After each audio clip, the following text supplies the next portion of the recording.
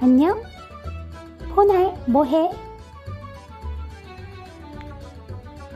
아유, 크리스마스인데 왜 이렇게 바쁘냐. 좀 쉬면서 해. 나도 쉬고 싶다고. 너 그러다 큰일 난다. 알았어. 이거만 하고 쉴게.